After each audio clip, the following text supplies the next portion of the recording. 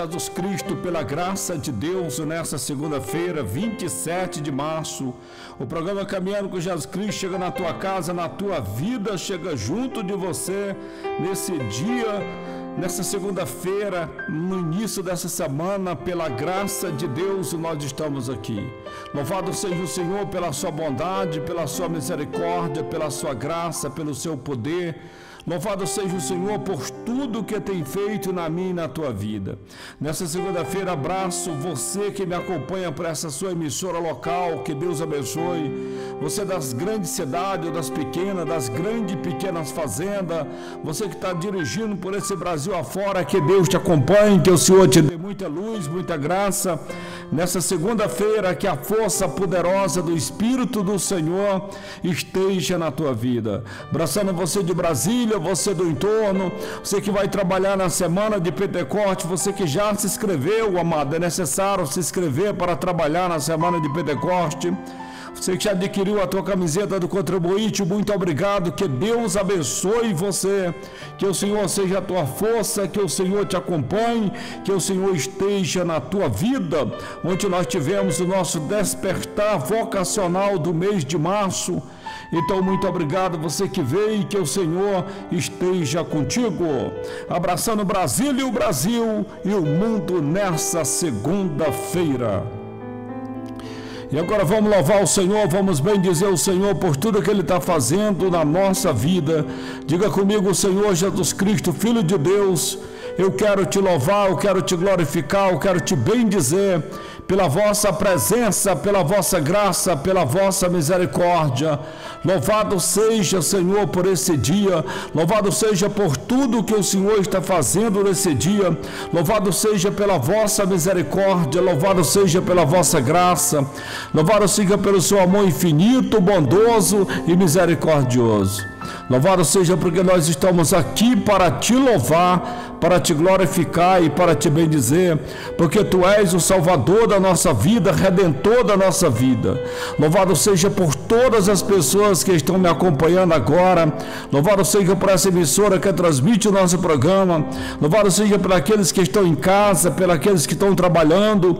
Louvado seja, Senhor Jesus Cristo, por todas as pessoas que nessa segunda-feira te louva, te glorifica e te bendiga.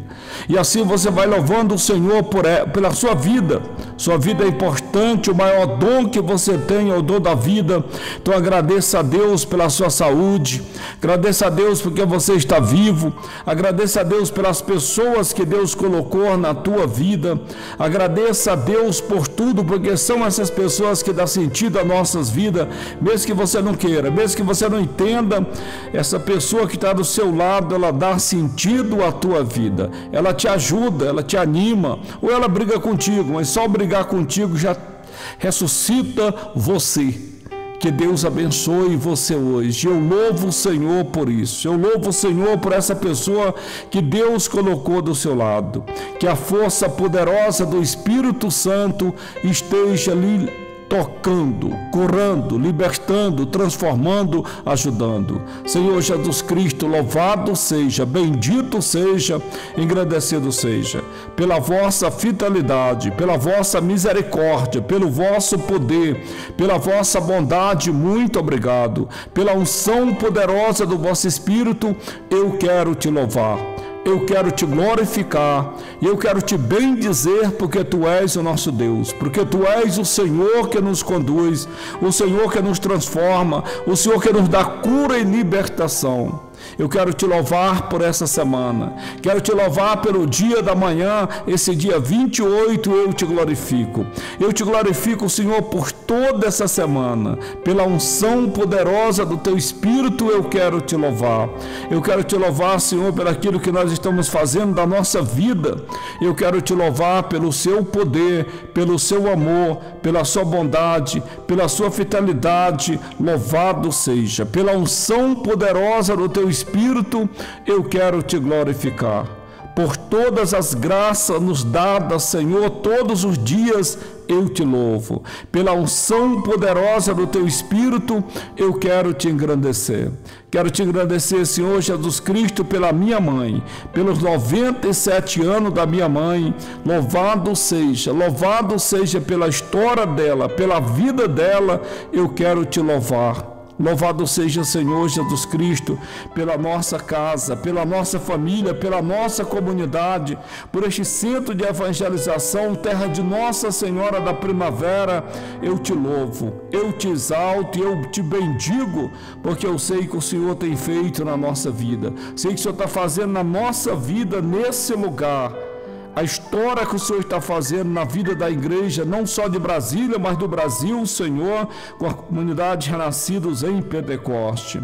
Louvado seja pelo seu amor misericordioso. Pelo seu amor eterno, eu te glorifico, eu te bendigo, eu te rendo graça, porque tu és o Senhor que nos tira do abismo e nos leva para as alturas. Então eu te glorifico, eu te bendigo por isso. Amados irmãos e irmãs, procure conhecer os grupos de Nossa Senhora da Primavera.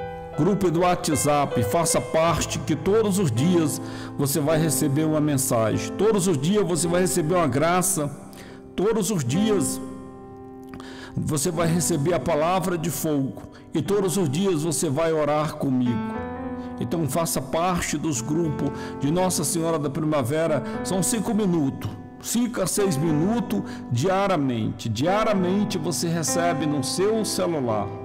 Mais uma vez, reforço o convite para você se inscrever para trabalhar na semana de Pentecoste e também adquirir a sua camiseta fazer parte desse exército de Deus que anuncia Jesus Cristo, que prega Jesus Cristo e que faz acontecer no nome de Jesus Cristo. Entre nas redes sociais da comunidade Renascidos em Pentecoste, que você se informa sobre tudo o que está acontecendo nessa comunidade. E agora, meditando na palavra do Senhor, diz que Jesus estava no Monte das Oliveiras de madrugada voltou de novo para o templo, e todo o povo reunido em volta dele, sentando-se, começaram a, ele começou a ensinar. Entretanto, os mestres da lei e os fariseus trouxeram a mulher, surpreendida em adultério, levando para o meio deles, disseram a Jesus: Mestre, essa mulher foi surpreendida em fragante adultério. Moisés na lei mandou apedrejar tais mulheres. E tu o que diz? E que que Jesus vai dizer? Qualquer coisa que ele dissesse, eles condenariam Jesus Cristo. Se ele dissesse Moisés errou, Moisés não sabe a verdade, era a morte dele imediatamente. Se ele dissesse sim, pode apedrejar, eles iam dizer: Mas esse que cura, esse que ressuscita, esse que é bonzinho, esse que fez o discurso da misericórdia, esse que fez o discurso da bem-aventurança, quem é esse afinal de contas? Jesus não responde. Mas eles insistem com aquela mulher, já pronto para apedrejar. Ela foi pegada em adultério, mas ela não estava sozinha mas a sociedade machista da época condenava somente as mulheres e não os homens. E aí Jesus começa a escrever. E diz a tradição que ele escrevia o pecado de cada um deles, mas eles não entendiam. Então o Senhor se levantou-se e disse: Quem dentre vós não tiver pecado, seja o primeiro a tirar-lhe uma pedra. Isso mexeu profundamente com aqueles homens, com aqueles acusadores. O Senhor diz que quem nunca pecou, atire a primeira pedra. É o suficiente, amado, para mexer profundamente na consciência daqueles cidadãos que imediatamente, soltando as pedras, foram embora, deixando Jesus a sós com a mulher. E o Senhor pergunta: para essa senhora: Mulher, aonde estão eles? Ninguém te condenou. ela olha para Jesus Cristo e diz: Ninguém, Senhor. Ou seja, e você? Você não vai me condenar? E Jesus lhe diz: Eu também não te condeno. Pode ir e de agora em diante não peques mais, diz o Senhor para essa mulher. Você está perdoada, você foi salva, mas tenha cuidado. Tenha muito cuidado e não peque mais de Jesus Cristo. De certa forma, a penitência que o Senhor deu para essa mulher não é pequena. É não pecar mais, entende isso? Para não cair de novo nas mãos dos acusadores. Não volte a pecar. E aqueles que ouviram a palavra do Senhor naquele dia, com certeza voltaram para suas casas meditando nisso. Quem não tiver pecado, atire a primeira pedra, porque todos os homens são pecadores.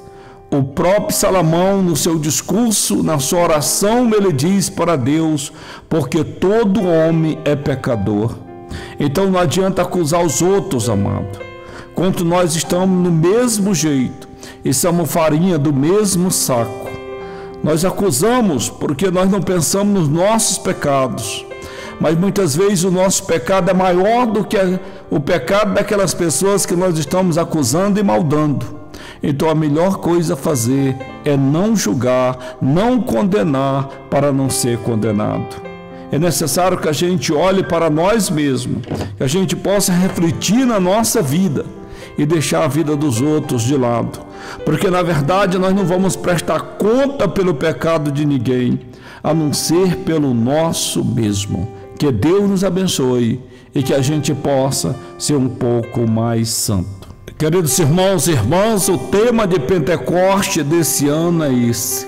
Seja forte e corajoso, porque o Senhor marchará na vossa frente diante de toda a situação financeira dessa festa, diante de todas as dificuldades, de todo o montante que nós temos que ter para pagar os fornecedores, os empresários, os que colocam a estrutura no Tágua Parque, eu vejo um milagre acontecer cada ano. Eu vejo um grande milagre acontecer a cada ano. Até porque você não paga nada para fazer parte da semana de Pentecoste. Você não paga nada para estar no Tagua Park. Você não vai pagar, não tem ingresso, não tem nada. Imagina se eu cobrasse o ingresso de 100 reais para aquelas pessoas. Imagina se você que recebeu as graças das velas de Pentecoste, se você desse pelo menos 100 reais. Eu faria Pentecoste com toda tranquilidade, financeiramente com tranquilidade. Mas além do problema espiritual que nós temos que enfrentar, nós temos que enfrentar o financeiro. Então eu te peço ajuda de todos os jeitos: financeiro, espiritual, uma Ave Maria, um Pai Nosso, um real, e assim você nos ajuda a anunciar Jesus Cristo. E agora eu quero orar por você que está doente. Você que está desanimado, você que está caído, nessa segunda-feira eu oro por você mas eu te convido a orar junto comigo. Pai amado, no nome poderoso de Jesus Cristo.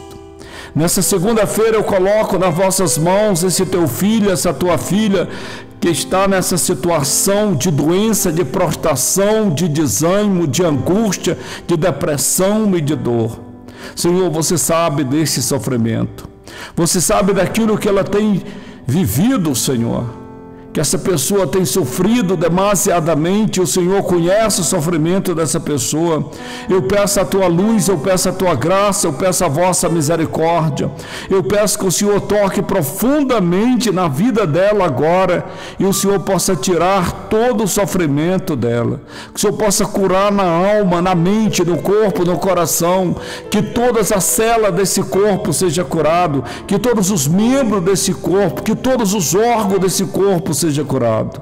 Jesus Cristo, eu coloco nas vossas mãos agora, pedindo a vossa luz, a vossa força, a vossa misericórdia, pedindo que o Senhor haja poderosamente nessa vida. Senhor Jesus Cristo, Filho de Deus, confiando na vossa misericórdia, confiando na vossa graça, confiando no vosso amor de Pai, confiando no vosso amor eterno, eu coloco todos os doentes nas vossas mãos.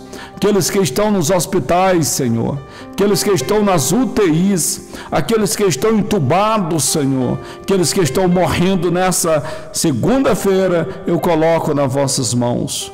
Meu Senhor e meu Deus, eu entrego para que a força poderosa do teu Espírito esteja na vida deles. Que teu poder imenso, bondoso, misericordioso, o Senhor possa tocar profundamente neles agora e que eles possam, no teu santo nome, no teu poder e na tua graça, receber a cura, Senhor, de qualquer doença, seja da alma, seja da mente, seja do corpo e do coração faça o um milagre na vida deles.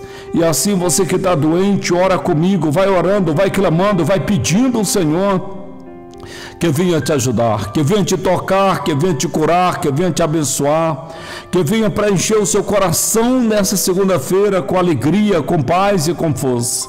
Meu Senhor e meu Deus, confio na vossa misericórdia, confio na vossa graça, eu confio em Ti. E eu peço a unção poderosa do teu Espírito, a graça do teu Espírito, a força do teu Espírito, o poder do teu Espírito. Que nessa segunda-feira, estes teus filhos vejam, Senhor, aquilo que o Senhor está fazendo na vida deles. Entregando na tua misericórdia, eu entrego todos aqueles que desanimaram, que a depressão tem tomado de conta, que a insônia tem destruído, Senhor.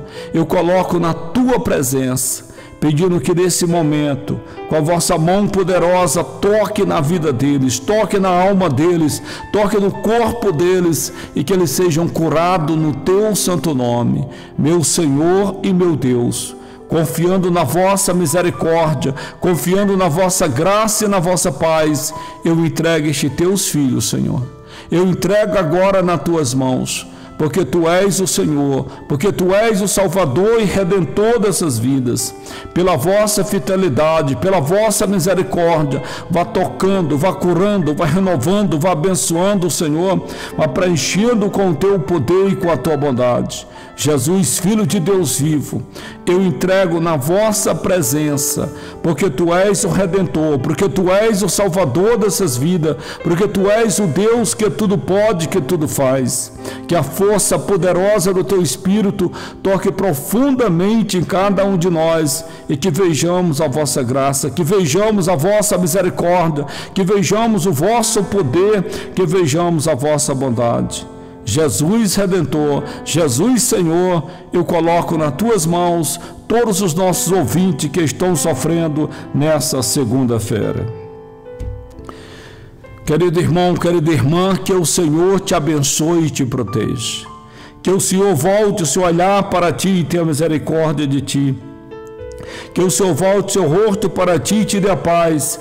Que o Senhor te abençoe com o nome do Pai, do Filho e do Espírito Santo. Fica com Deus, caminha com Jesus Cristo e até amanhã, se Deus quiser.